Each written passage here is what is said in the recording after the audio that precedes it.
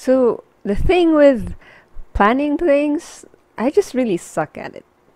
And I wanted to do, I think, um, two more videos best of 2020 and the disappointments of 2020 before the year ends. Unfortunately, that's the thing with me. Planning things, they don't really go as planned. So, what's new?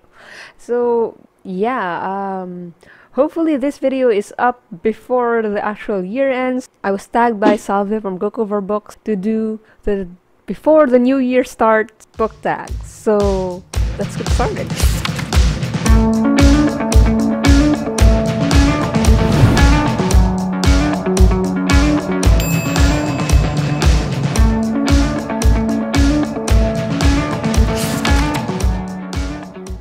First question, describe your 2020 reading experience in three sentences. So first would be 2020 is definitely my biggest year for reading. I usually average 25 to 30 books a year and I've never imagined that I actually would be able to get to 50 books.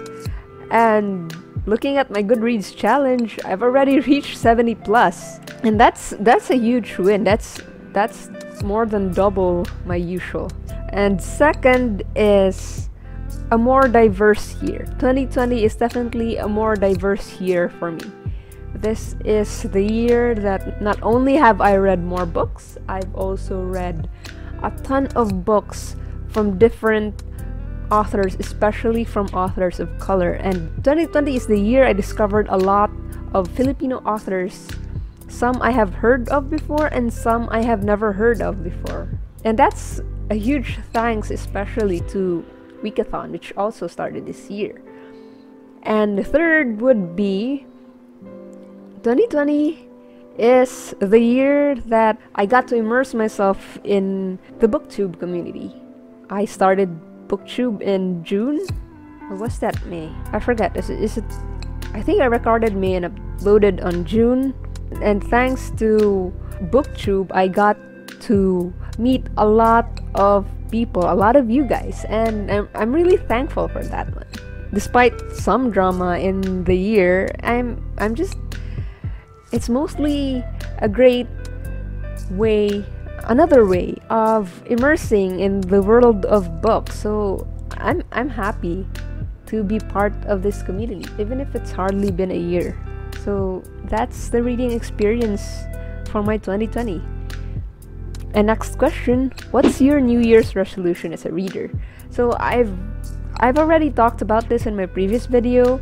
My usual New Year's resolution is to spend less, read more. I mean, to lessen my spending on buying new books and reading more of what I already have. And of course, I usually fail at that. But hopefully, 2021 will be the year that I actually get to do that because I plan on cutting down on my physical books and going for ebooks. I have more control when it comes to ebook buying, so yeah, I think that's a good plan for 2021. Instead of outright banning myself from buying books, I'm going to set a monthly limit and whatever I set aside for that month, if I won't spend it for that month, I can spend it for the following month or whenever I can spend for a book. But the target is less physical books, more on ebooks. Because lately the physical books are really getting expensive while the ebooks go on sale a lot. And there's no panic buying for me for me at least. There's i don't panic buy because they're ebooks. They don't get sold out and they go on sale a lot. So yeah that's the plan and hopefully i can follow through on that one. And okay next. What will be the very first book you'll buy this new year and why? And i'm gonna say hopefully nothing yet. Because like I said I'm, I'm going to control my spending and I already have a lot of unread prints and ebooks. So yeah the very first book hopefully is nothing but yeah like I said I'm very bad with planning so if something comes up and remind me that I've been reading for that book then I might cave and buy something but definitely not planning on not buying anything unless I really, really, really, really want to. So yeah, nothing, no buying, hopefully. Uh, so next one is how many books that you own are left unread during 2020. let's let's not go there. let's just not. okay. Um. Okay. Last question. Will you be joining or creating any readathon this 2020? And the only readathon that I plan on joining is definitely Wikathon. Everything else, all other readathons, I've already forgotten. I'm sorry.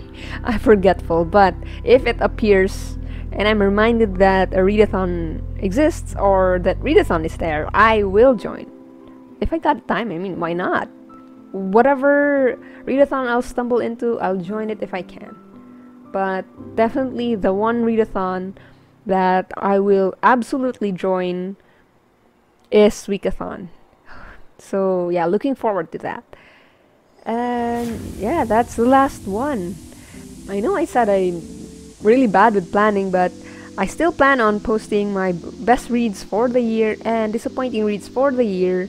I'll be posting those sometime in January. So, uh, yeah, see you guys around and Happy New Year!